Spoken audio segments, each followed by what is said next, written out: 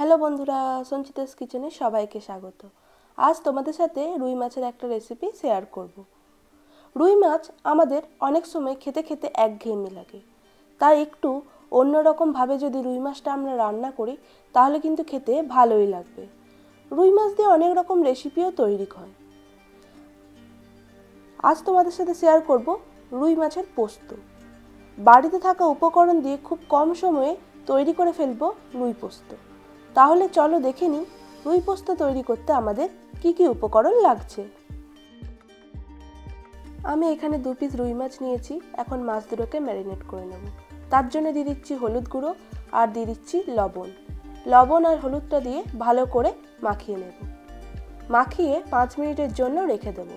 এতে মাছের গায়ে নুন আর হলুদটা ভালো করে ঢুকে যাবে।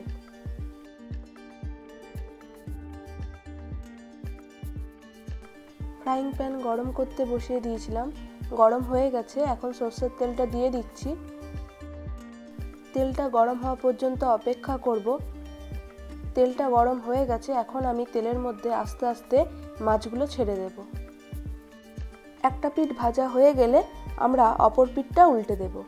অপর পিঠটা উল্টে আবারও ভেজে নেব দু তিন মিনিট। মাছগুলো ভাজা হয়ে গেছে, এখন আমি একটা প্লেটে তুলে রেখে দেব। আমি আর তেল অ্যাড করিনি, ওই তেলেই আমি ফোড়ন দিচ্ছি তেজপাতা আর কালো জিরে। তেজপাতা আর কালো জিরে এক দু মিনিট তেলে ফ্রাই করে নেব।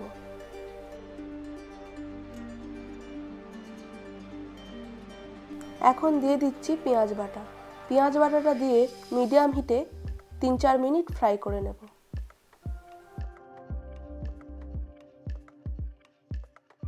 যখন পেঁয়াজের কালারটা হালকা চেঞ্জ হয়ে আসবে, তখন আমি গুঁড়ো মশলাগুলো অ্যাড করে দেব। গুঁড়ো মশলার মধ্যে আমি অ্যাড করছি হলুদ গুঁড়ো, কাশ্মীরি রেড চিলি পাউডার আর লবণ। মিডিয়াম হিটে এখন মশলাগুলো ভালো করে ফ্রাই করে নেব। মশলাটা আমার ভালো করে কষানো হয়ে গেছে, এখন আমি দিয়ে দিচ্ছি পোস্ত বাটা। পোস্ত আর তিন চারটে কাঁচা লঙ্কা আমি মিক্সার গ্রাইন্ডারে পেস্ট করে নিয়েছিলাম। পোস্তটা দিয়ে এক মিনিট নাড়াচাড়া করে নেব মিডিয়াম ফ্লেমে।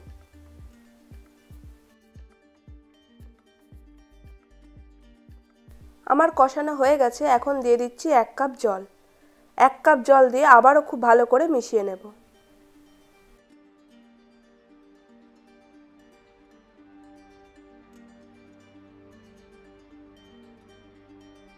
এখন দিয়ে দিচ্ছি এক দুটো চেরা কাঁচা লঙ্কা। চেরা কাঁচা লঙ্কাটা দিয়ে আবারও মিশিয়ে নিচ্ছি একবার।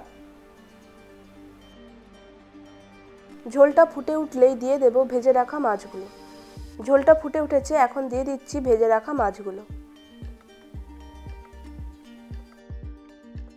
মাছগুলো দিয়ে একটু মিশিয়ে নেব। মিশিয়ে পাঁচ মিনিটের জন্য ঢাকা দিয়ে রেখে দেব। পাঁচ মিনিট হয়ে গেছে, ঢাকা খুলে নিচ্ছি। ঢাকা খুলে আবারও অপর পিঠটা উল্টে দেব। অপর পিঠটা উল্টে আবারও পাঁচ মিনিটের জন্য ঢাকনা দিয়ে ঢেকে দেব। পাঁচ মিনিট হয়ে গেছে, ঢাকা খুলে নিচ্ছি। পুরোপুরি রেডি হয়ে গেছে রুই পোস্ত। গরম গরম ভাতের সাথে সার্ভ করার জন্য একদম রেডি। তাহলে বন্ধুরা, আমার এই রেসিপিটি তোমাদের কেমন লাগল? যদি ভালো লাগে, তাহলে লাইক করো, কমেন্ট বক্সে কমেন্ট করো, ফ্রেন্ড ফ্যামিলিদের সাথে শেয়ার করো।